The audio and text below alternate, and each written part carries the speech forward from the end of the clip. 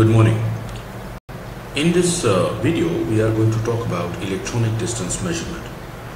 Uh, this electronic distance measurement studies on electronic distance measurements are based on uh, surveying and uh, with electronic distance measurement we can also do what we call intersection and resection.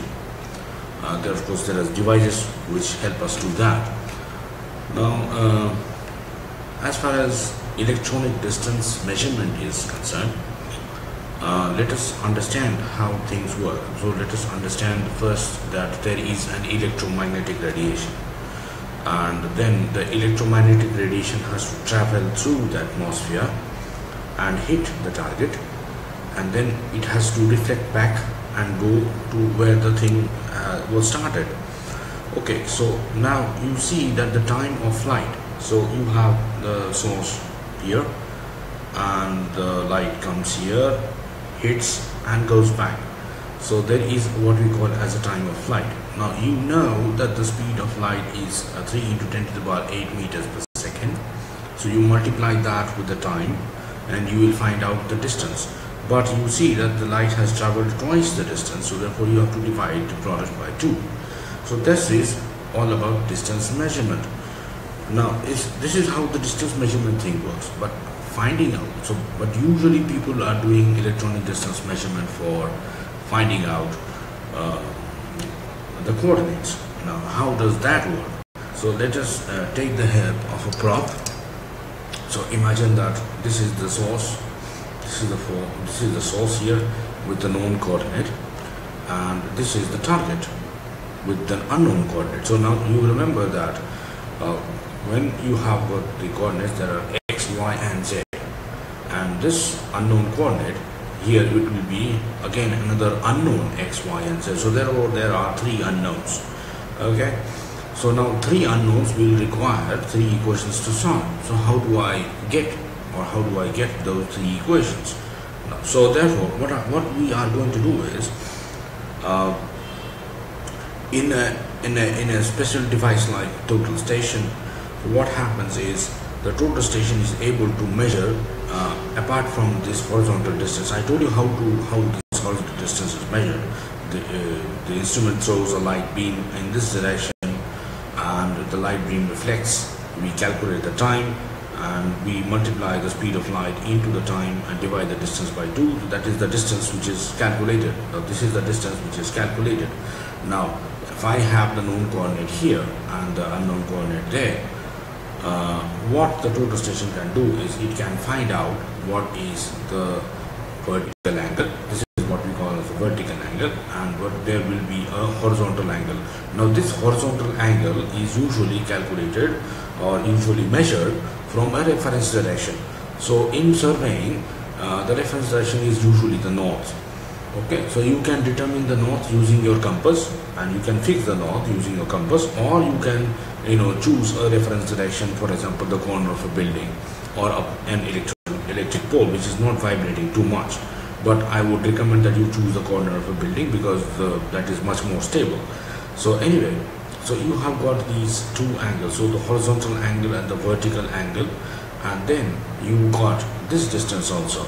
Uh, okay so this distance suppose that this distance is L so definitely what will happen is if this you if you know that this is theta so automatically the z coordinate becomes L sine theta alright? And similarly you are going to project this to the xy plane and you will get L cos theta and then you are going to produce, uh, project this into the x-axis and project this into the y-axis so that you will get of course L cos theta sine phi and L cos theta cos phi as the x and y coordinates.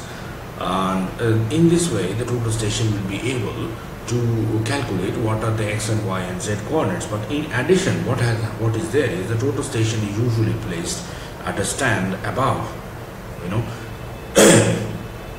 so usually this uh, you know total station will be placed on a tripod like this, and you place the instrument there and then you will find you will fire the laser beam this is how it is so you have to give to the total station the height of the instrument you have to you also you need a reflector there now this reflector this reflecting arrangement that we have uh, typically uh, it consists of a prism.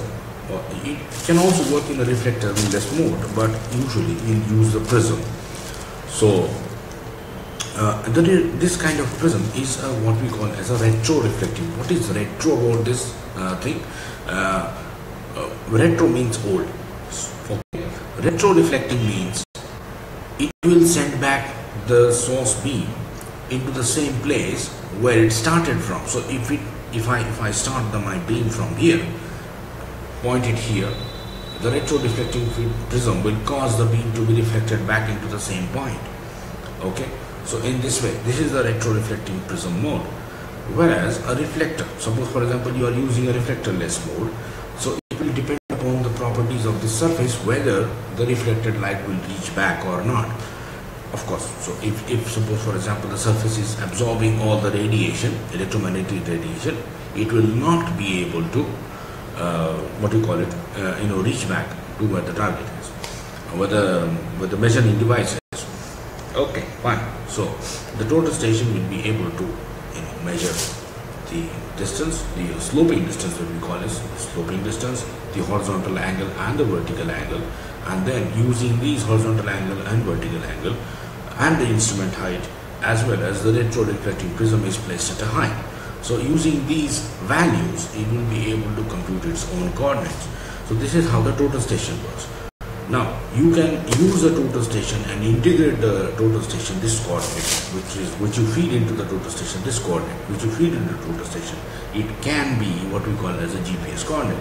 Now you can procure the coordinates from the GPS and put it inside the total station and you can give the reference direction using two coordinates so okay you can express uh, you can establish the bearing of the line and based on that you will get coordinates on world coordinates in the world coordinate system now you if you get these coordinates what you can basically do is you know take all the coordinates and take it to google earth so you can actually do uh, the entire survey using uh, the google earth system okay uh, Google Earth coordinate system. So you can capture all the coordinates in GPS uh, coordinate system and then take it to Google Earth and you can create a map which will be on Google Earth. Uh, Earth. Uh, so you can create the map using uh, what we call as you can create the map using QGIS, the quantum GIS platform and you can actually create the map using other uh, GIS platforms like ArcGIS, MapInfo grass GIS or whatever it is, those mapping platforms exist. Okay, so this is how what we can do